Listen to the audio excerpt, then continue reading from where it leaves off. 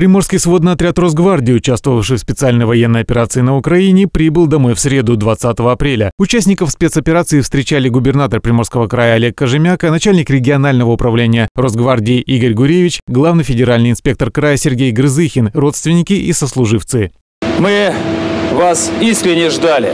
И, конечно, в первую очередь это ваши родные и близкие, ваши сослуживцы, кто оставался здесь, друзья, жители Приморья, кто с волнением и тревогой на протяжении всех этих тяжелых, непростых недель, дней следил за теми событиями, которые проходили на Украине. За теми боями, которые вы вели с коварным, опытным и жестоким врагом за 8 лет пропитанным духом нацизма.